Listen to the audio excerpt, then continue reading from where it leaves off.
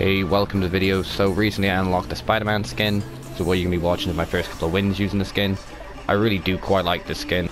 It's definitely my favourite skin for this season's Battle Pass. Let me know in the comments what your favourite skin is. Let's get into it. Leave a like if you enjoy it.